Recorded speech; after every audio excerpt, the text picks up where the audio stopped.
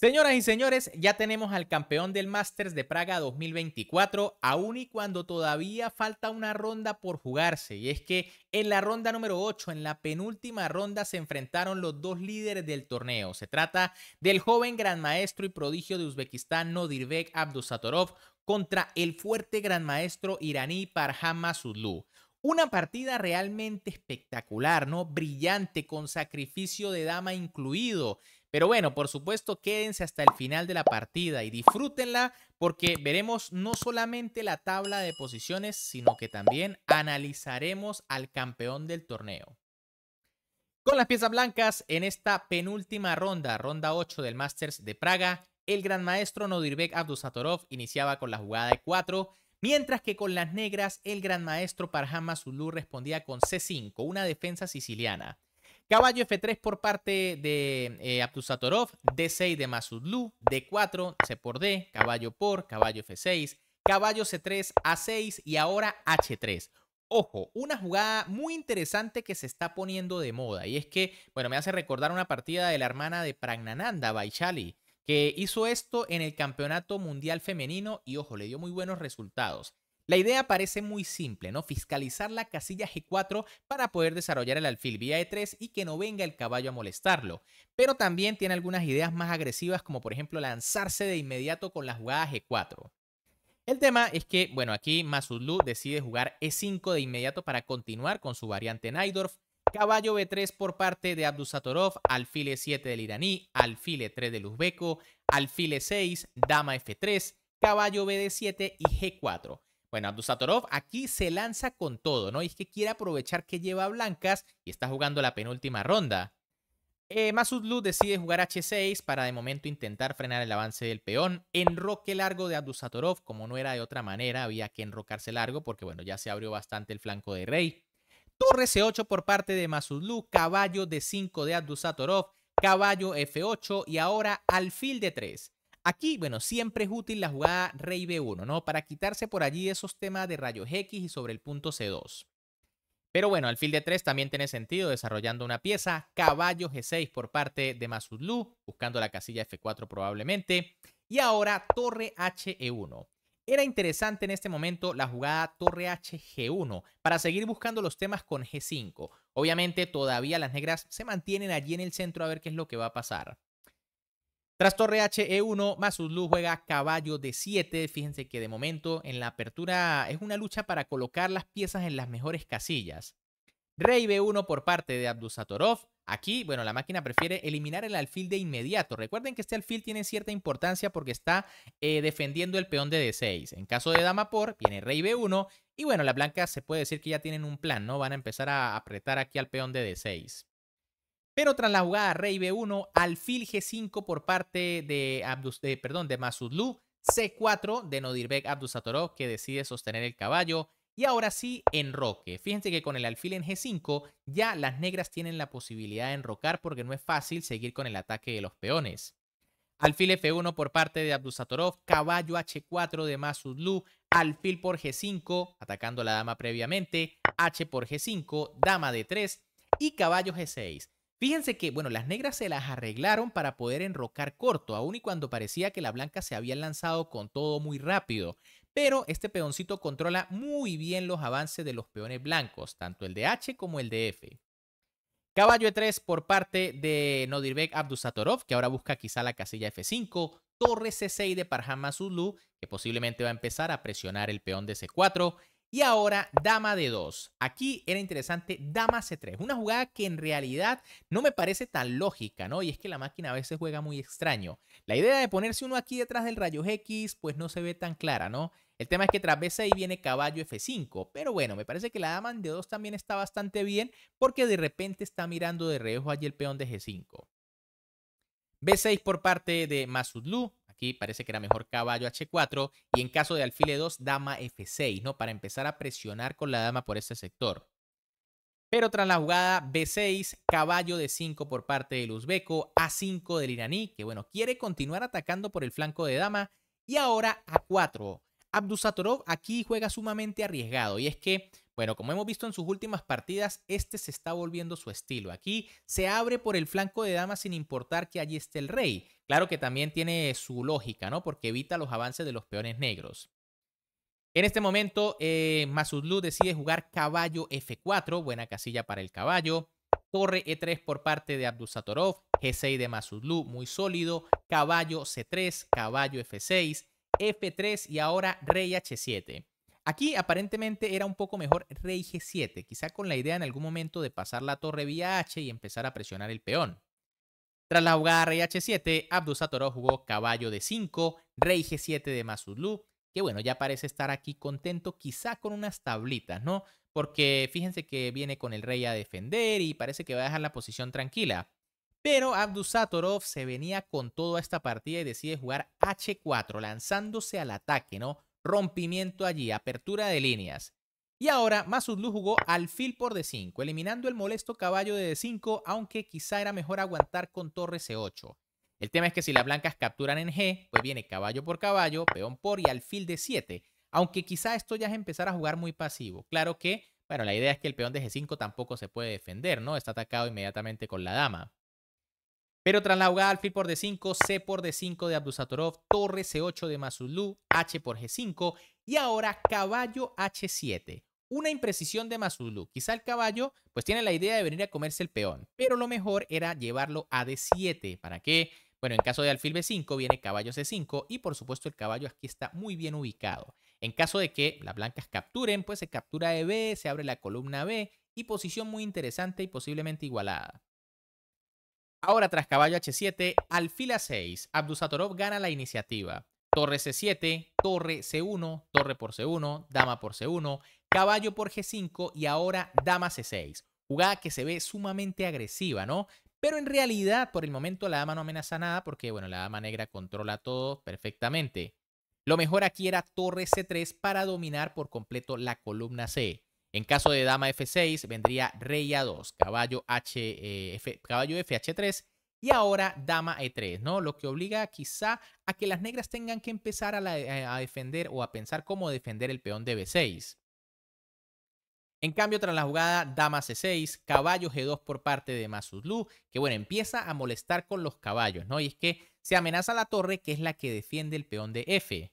Torre C3 por parte de Abdusatorov, caballo E1. Bueno, sigue Masudlu molestando allí al peoncito de F3. Caballo de 2, Abdusatorov lo defiende. Torre H8. Bueno, cuidado porque Masudlu quiere apoderarse de la iniciativa y se viene con la torre a la primera fila. Torre E3 por parte de Abdusatorov, atacando el caballo. Torre H2 de Masudlu. Posición súper compleja, ¿no? Fíjense que Abdusatorov ataca, Masudlu también responde con amenazas. Caballo F1 aquí por parte de Abdusatorov, que bueno, parece que amenaza la torre y ahora el caballo, ¿no? ¿Qué van a hacer las negras? Pues caballo C2, amenazan la torre y bueno, el caballo de momento defendido por la torre. Abdusatorov vuelve a jugar eh, torre C3 para atacar el caballo y recuerden que está atacada la torre. Y ahora caballo B4. Luego de esta jugada parece que, bueno, ya las negras, perdón, eh, sí, las negras salieron de cualquier apuro con su caballo, ¿no? Porque, bueno, se ubica el caballo en una muy buena casilla, se amenaza la dama, se amenaza al alfil, y bueno, cuando se quite la dama, la torre se va a quitar y, bueno, estamos igualados. Pero no, ¿no? Como le dije aquí, a Dusatorov está en un momento espectacular. Y el Ubeco decide jugar caballo por torre, caballo por H2, sacrificando la dama. Una jugada sencillamente brillante, ¿no? De las más bellas que se ha visto este año. Aquí, bueno, Masulu decide jugar caballo por C6, se come la dama obviamente, y ahora D por C6. Y cuidado, ¿no? Porque con esta captura ya las blancas están amenazando C7 y coronar de inmediato, por lo que es una amenaza grave. De hecho, aquí Masulu juega caballo E6, que prácticamente es única, y ahora alfil C4 y cuidado porque la máquina dice que esta posición está igualada aun y cuando las negras tienen dama contra torre y alfil. Claro que el peón ayuda muchísimo a las blancas. Abdusatorov decide jugar caballo C7. Parece que, bueno, tiene alguna, algún temor de que el peón pueda seguir avanzando y lo bloquea. Aunque era mejor caballo D4. ¿Cuál es la idea? Bueno, si alfil D5 Incluso se puede jugar caballo por C6, porque tras alfil por viene dama H4. Y ojo, que aunque, bueno, las blancas tienen torre y dos piezas, la dama en este tipo de posiciones con muchísimas líneas abiertas puede ser muy, muy peligrosa, ¿no? Un jaque por allí y puede caer alguna pieza blanca. Pero bueno, Masudlu juega muy seguro, caballo C7, caballo F1 por parte de Abdusatorov, dama E8 de el iraní, que ahora sí amenaza el peón, alfil D5, obviamente Abdusatorov lo defiende, aquí era quizá mejor alfil B3, ¿no? Para darle más flexibilidad al alfil y que no quede allí tan atrapado. El caso es que tras B5 viene caballo E3 y si B4, torre C1. Y bueno, el peón molesta, ¿no? No se puede capturar sencillamente y por supuesto viene caballo D5. Pero tras la jugada alfil de 5, B5 por parte de Masudlu, caballo E3 de Abdusatorov, que ya no es la mejor, ¿no? Había que jugar A por B. Y bueno, tras la jugada caballo por B5, torre B3. Posición todavía complicadísima. Pero bueno, tras caballo E3, B por A4 de Masudlu. ¿Qué logra con esto el iraní? Abrir la columna B. Y esto puede traer varios temas más adelante. Y ahora Abdusatorov de hecho juega torre C2, jugada que posiblemente es una pérdida de tiempo y bastante costosa aquí para la blanca, ¿no? Lo mejor era rey A2 quitándose de la primera fila. Tras rey H6 viene caballo C4 y bueno, no está tan claro cómo van a continuar aquí la blanca, ¿no? De hecho, las negras pueden jugar algo como caballo B5 contraatacando. Pero tras la jugada torre C2, dama B8, Masulu no acierta con la mejor jugada y es que el iraní tenía que jugar dama H8 para empezar a tener amenazas por la primera fila. En caso de rey a2 para quitarse, dama b8. Y bueno, se amenaza caballo por alfil, dama b3, entre otras cosillas por ahí. Pero tras la jugada dama b8, alfil c4 por parte de Abdusatorov, a3 de Parham Zulu, que bueno, presiona aquí la clavada del peón. Caballo de 5, este es el plan del uzbeco, ¿no? Buscar cambiar el caballo que es el que, o una de las piezas que defiende la coronación. Caballo E6 por parte de Masudlu y ahora B3. Bueno, increíblemente en esta posición Abdusatorov comete un error bastante grave. Pero la posición es tan complicada que tampoco es nada fácil ver por qué. ¿Por qué la jugada B3 es tan grave? Si de hecho está sosteniendo el alfil y viceversa, ¿no? El alfil sostiene el peón. Además de que, bueno, parece que el rey viene a 2 y aquí no ha pasado nada. Lo correcto en esta posición era G5. El tema es que, bueno, tras caballo de 4, que parece una jugada bastante normal atacando la torre, ojo que caballo por G5 pierde, por supuesto, por C7, ¿no? Y tras eh, dama C8 se puede ganar incluso con alfil A6, que la dama se va a caer. Pero bueno, tras caballo de 4 atacando la torre, viene torre H2. Y si caballo por F3, C7. Dama B7, torre C2, caballo de 4 y torre F2. Y bueno, no está claro aquí, ¿no? Posiblemente la posición igualada porque, bueno, las blancas tienen sus amenazas sobre F7. Ahora, tras la jugada B3, Masudlu juega caballo de 4 y pierde una oportunidad de oro, ¿no? Tras esta jugada, la posición se iguala. Lo correcto para ganar era la jugada dama a 7, que ojo, no está tampoco tan clara por qué se gana. Es una posición muy, muy compleja. El tema es que, bueno, por ejemplo, tras una jugada como rey a2, la máquina recomienda c7 en devolviendo el peón, pero igual las negras deben estar ganadísimas, ¿no? Pero, por ejemplo, tras rey a2, que parece lógica para quitarse de la primera fila y evitar los temas de jaque, vendría la jugada caballo de 4, atacando la torre y atacando el peón de c6. Si, por ejemplo, c7 para amenazar coronar, no importa que se entregue la torre, pues viene igual caballo por torre y tras peón dama, entonces dama de 4 y el mate aquí es inevitable. Fíjense que el caballo defiende el peón y la dama amenaza con entrar a 1 jaque mate. Y bueno, en caso de rey eh, B1, pues viene dama B2 mate, ¿no? Increíble. Pero bueno, Masudlu se equivoca, juega caballo de 4 atacando la torre. Y ahora Abdusatorov aprovecha y juega C7, atacando la dama por supuesto y amenazando coronar. Dama H8 por parte de Masudlu. Perdón, viene eh, la dama para H1. Torre de 2 por parte de el uzbeco. Dama H1 aquí de el iraní. Rey A2, dama C1. Fíjense qué posición tan compleja. Se amenaza ahora la torre. Hay temillas por allí de mate. Torre H2 por parte de Abdusatorov. A4 de Masudlu que sigue presionando, ¿no? Cualquiera que vea esta posición rápidamente cree que, bueno, las blancas están perdidas, ¿no? Y ahora G5 por parte de Abdusatorov. Cuidado aquí, si se corona dama de inmediato viene A por B3. Y fíjense que ahora hay que jugar alfil por B3 y caería la dama, tras lo cual, pues básicamente las negras pierden su peoncito. La blanca, el peón que era el que era muy amenazante. Por eso aquí sencillamente eh, Abdusatorov juega G5, caballo por F3 por parte de Masudlu que ataca la torre. Ojo aquí, peón por peón. Quizá no funciona por alfil por B3. Y bueno, el peón está defendido, ¿no? Lo que hicieron las negras fue entregar el peón allí. Pero tras caballo por F3, torre F2 de Abdusatorov, A por B3 jaque, alfil por B3, caballo de 2. Y bueno, ahora, otro momento espectacular de la partida. Ya vieron cómo Abdusatorov entregó su dama por dos piezas. Pues aquí el uzbeco sin dudar lo juega torre por D2, entregando la torre ahora por el caballo. Esta jugada parece una completa locura porque obviamente Masudlu capturó con dama dando jaque. Esa es la diferencia, ¿no? Si no fuese jaque, pues el peón coronaría de inmediato. Pero el tema es que las negras dan jaque. Y ahora las blancas se van a quedar solo con dos piezas contra la dama.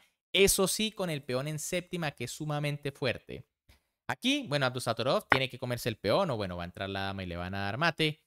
Y ahora, en una posición otra vez muy crítica, ¿no? Intenten ustedes ver la mejor jugada del negro a ver si la, si si la consiguen.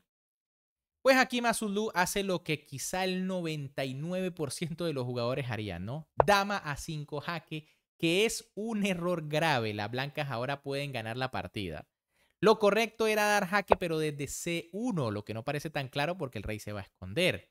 Tras rey B4 viene dama C5 jaque, rey A4 y dama 7 y bueno, parece que las negras consiguen una posición para poder empatar por tema de jaque perpetuo. Pero tras la jugada dama 5, Abdusatoro jugó dama a 4 y el problema es que ya no hay demasiados jaques. Dama a 6 por parte de Masudlu defendiendo la coronación y es que si dama C5 jaque viene rey B3 y bueno, se acaban los jaques, ¿no? Increíble. Tras la jugada dama 6 controlando la coronación, rey B4 de Abdusatorov, dama B7 jaque y ahora alfil B5. Increíble, ¿no? Parece que esta jugada es un error porque se vuelve a igualar la posición.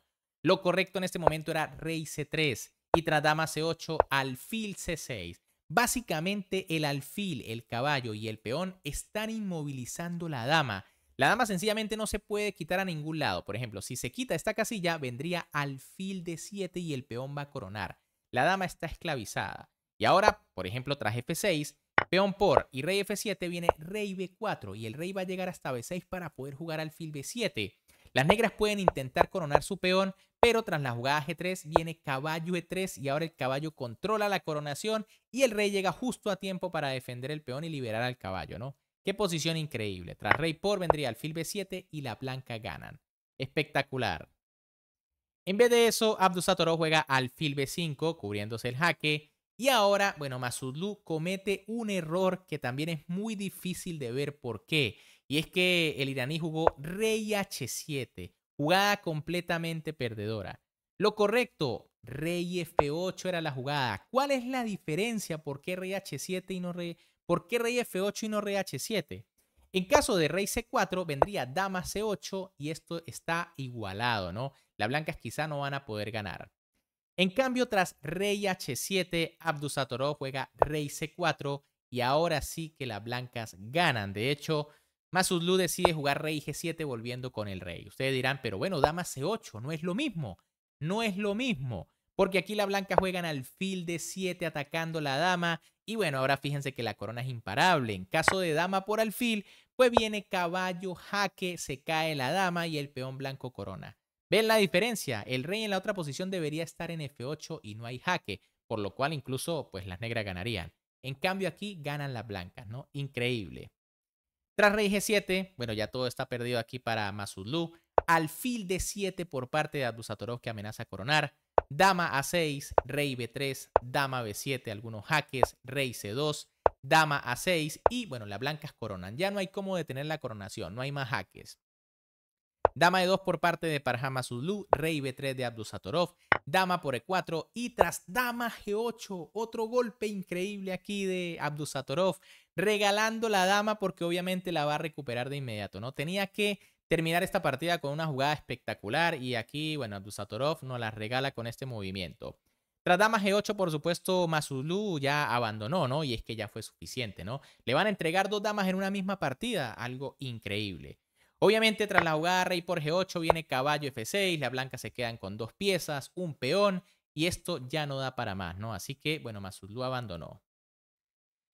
Bien amigos, ¿qué les pareció esta partida? Perdonen que me haya extendido demasiado, pero es que estuvo simplemente increíble, ¿no? Para mí una de las mejores partidas del año. Y es que, bueno, básicamente son dos sacrificios de dama en una misma partida. Luego esa entrega de torre por el caballo fue sencillamente espectacular. Con este resultado, aquí pueden ver en pantalla la tabla de posiciones. Nodirbek Abdusatorov, 6 puntos, inalcanzable porque sus más cercanos rivales, eh, Taidaiban Yuyen, bueno, el jugador que sorpresa para mí, Parham Zulu y Pragnananda tienen 4 y medio, es decir, aunque mañana perdiera Abdusatorov la última partida, ya no lo podrían alcanzar. Realmente espectacular lo que ha hecho el prodigio Beco. No solamente gana el torneo a falta de una ronda, sino que ya es el número 4 del planeta ha superado al campeón del mundo Ding Liren que pasa al quinto lugar. Y es que si no estoy mal, Abdusatorov en este momento tiene 2.765 puntos de Elo, mientras que el campeón del mundo tiene 2.762. Así que qué lástima que Abdusatorov no vaya a estar en el torneo de candidatos, ¿no? De verdad, una pena porque hubiese sido un espectáculo si es que sigue jugando de esta forma. De momento, si les gustó la partida y espero que haya sido así, me pueden regalar un poderoso like, suscribirse al canal y activar esa campanita porque por allí tengo otras joyas que se dieron en el torneo de titulados, en este mismo torneo, en el Master de Shenzhen en China. Así que muy atentos. Un gran saludo para todos, se me cuidan y nos vemos en el próximo video.